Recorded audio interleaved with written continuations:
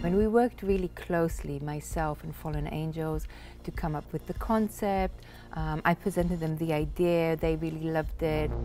Okay, so when you take when you're taking the breath, Yeah. try to actually not rise your legs. Right.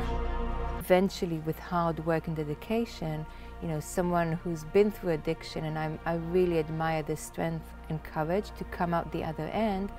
Um, they can really get to the point of the spiritual awakening, and that's what, for me, the wings symbolize.